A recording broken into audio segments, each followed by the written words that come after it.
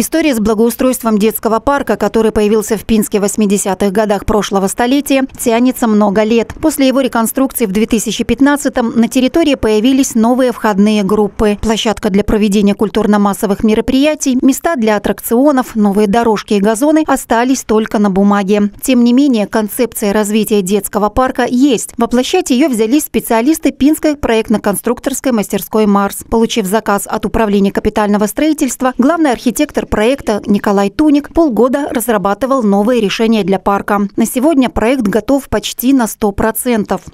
Основные четыре зоны у нас будут. Зона тихого отдыха, э, зона спортивная, э, зона развлекательная и э, зона массовых мероприятий. Сама концепция парка, хотелось его выполнить ну, в в таком в скандинавском стиле. Ему присущи натуральные материалы. Хотелось бы, чтобы вот, э, вот эти все неровности, возвышенности были из натуральных материалов.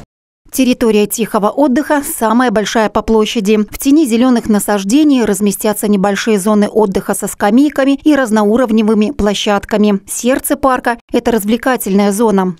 Здесь э, размещаются и кафе, и фонтаны, и э, ледовый каток, в разные поры года по-разному будут использоваться площадки. Каток э, в летнее э, время он будет использоваться как площадка для катания на роликах с музыкальным сопровождением. В зимнее время же с октября по март это уже катание на коньках Возле катка, согласно проекту, разместятся летние и зимние амфитеатры, а также фонтаны, струи которых будут бить буквально из-под ног. По задумке автора проекта, фонтан будет плавно перетекать в ручеек который будет дальше увязывать всю эту нашу игровую площадку, всю зону. Вдоль фонтана будут также размещаться э, детские игровые комплексы, более же младшего возраста. Там будут сооружения, э, которые будут взаимодействовать с водой. То есть дети могут где-то и накачивать себе воду, да, и немножечко поиграть с водой, то есть какую-то физику применить. Для самых маленьких пинчан предусмотрены аттракционы с лошадками, для более старших – канатный городок с мачтами, переходами и своеобразной крепостью.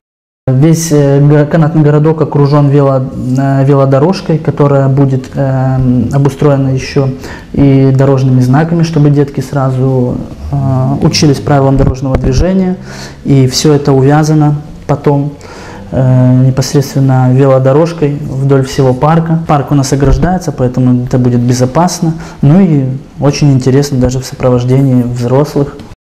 Все зоны парка будут соединены так называемой красной нитью. Это подпорная стенка, возвышенная конструкция, которая служит и скамьей, и дорожкой, по которой могут бегать дети. Общую стилистику парка дополнят парклеты, состоящие из деревянных модульных элементов. Сметная стоимость проекта пока неизвестна. Ее рассчитают после того, как он пройдет стадию доработок и будет одобрен заказчиком. Реализация проекта – это вопрос финансирования.